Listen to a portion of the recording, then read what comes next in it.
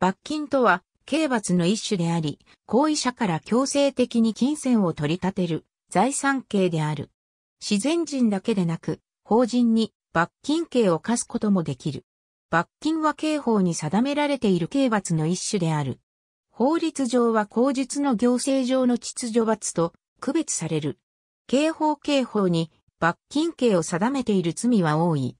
しかし、窃盗罪などの財産犯や公務執行妨害罪などの国家的法益に対する罪は従来選択刑として懲役のみが定められ、罰金は定められていなかった。これは窃盗は金のないものが犯すのであるから罰金を課しても実効性がないことや、国家的法益に対する罪は罰金に馴染まないことなどを理由とした。しかし、少額窃盗や軽微な公務執行妨害では、懲役を課すのは重すぎると考えられることもある。特に、公務員や一部の修行は、禁錮以上の刑に処されると執行猶予がついても、失職、結核となるので、軽微な犯罪で有罪になると酷な事態を招いてしまう。そのため、起訴猶予で処理されてきた事件が多かった。そこでこれらの犯罪への処罰にも柔軟に対応するため、選択刑として罰金刑が定められた。行政刑罰行政上の義務違反に対して課される制裁を行政罰と言い、行政刑罰と行政上の秩序罰がある。行政刑罰は行政上の義務違反に対する制裁として刑罰を課すものである。刑法8条は、この辺の規定は他の法令の罪についても適用する。ただし、その法令に特別の規定があるときは、この限りでない。と定めており、他の法令の罪にも刑法相則を適用する。また、普通地方公共団体、特別区、地方公共団体の組合は、法令に特別の定めがあるものを除き、条例上の義務違反に対して2年以下の懲役、もしくは禁錮、100万円以下の罰金、交留、過料もしくは没収の刑を定めることができる。なお、条例では口述の行政上の秩序罰を定めることもできる。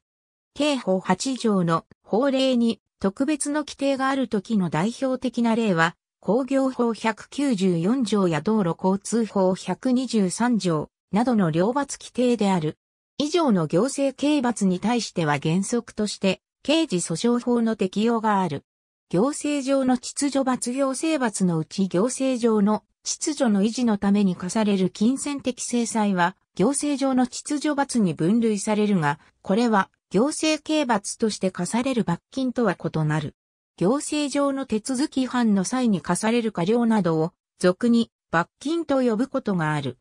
しかし、過料、課徴金、過大金、重加算税などは、刑罰以外の行政制裁であり行政処分の一種である。行政上の秩序罰には、刑事訴訟法は適用されない。反社会性が強い行為に対しては、行政刑罰、行政上の軽微な義務違反に対しては、行政上の秩序罰がこのほか行政制裁には、間接国税等についての通告処分、道路交通法違反の反則金も含まれるが、これらは税金や反則金を支払わない場合に、刑事手続きに移行する特色がある。間接国税等についての通告処分や道路、交通法上の反則金制度は、行政犯の非刑罰的処理を制度化した例と捉えることもできる。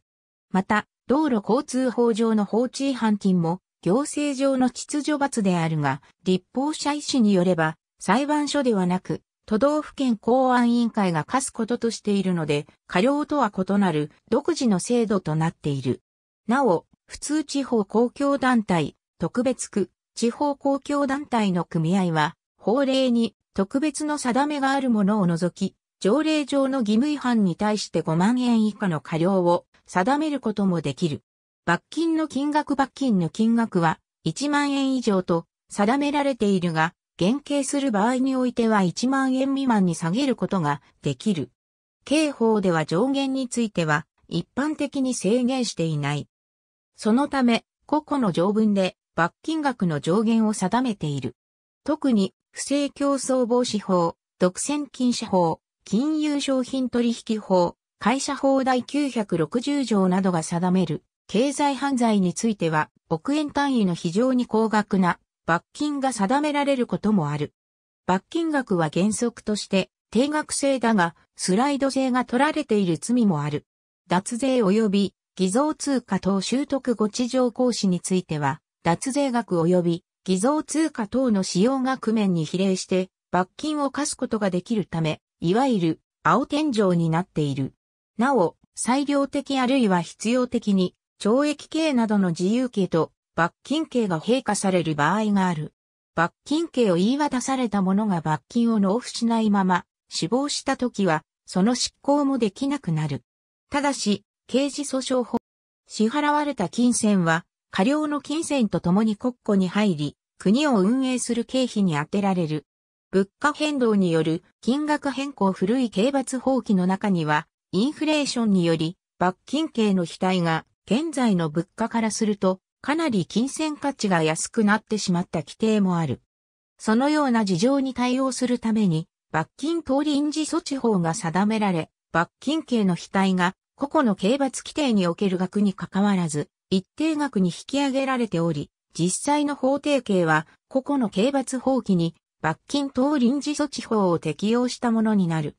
なお、一部法では罰金の額等の引き上げのための刑法等の一部を改正する法律により、金額などが直接改正された。前科となる刑罰罰金を課す有罪判決、または略式手続きが確定すると、前科として扱われる。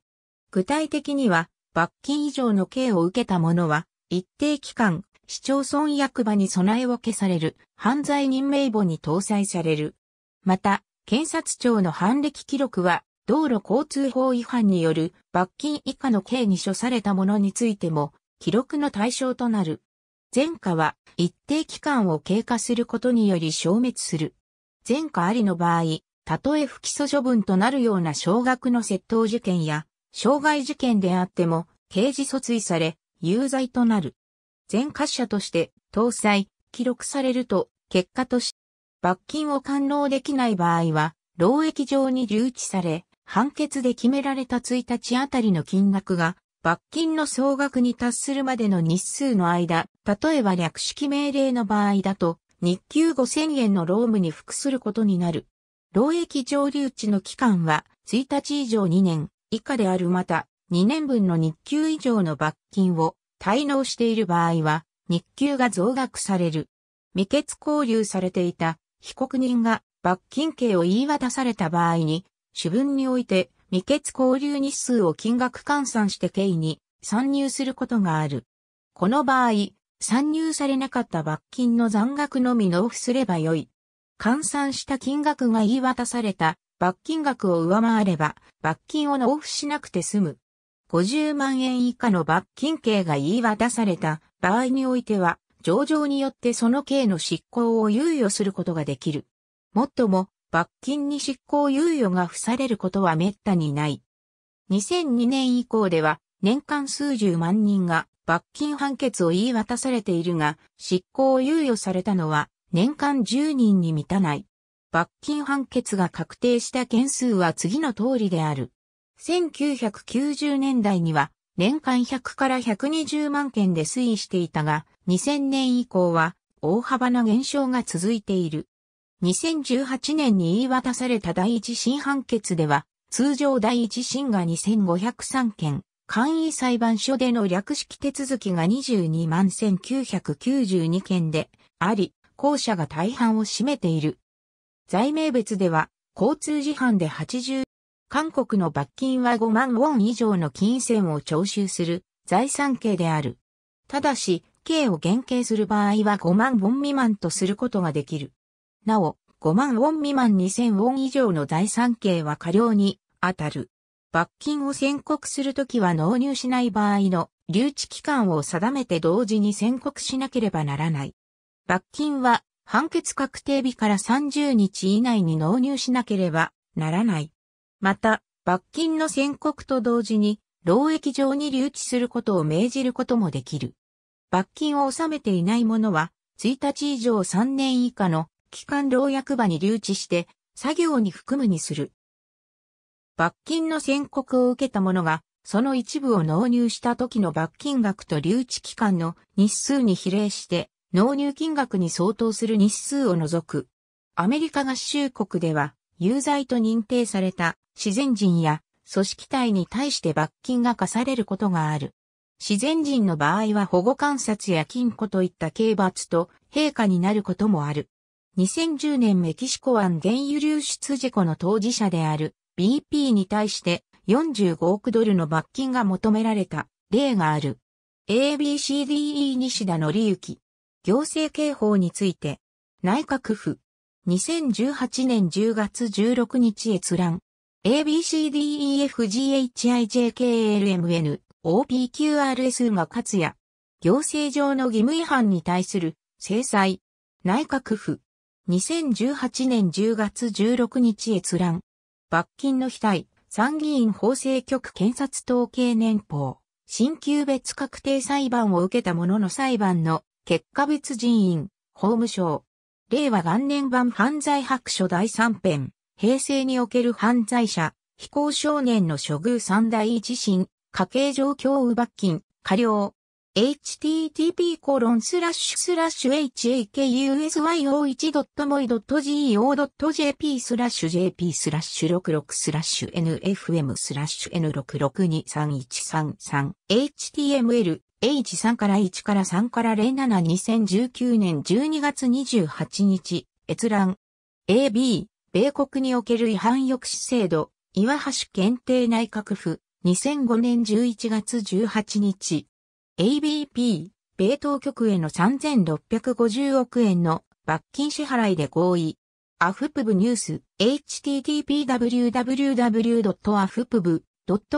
アーティクル、ディザスターアクシデンツ、クライム、ディザスター、291万2185。984万5777-2012年11月18日閲覧。ありがとうございます。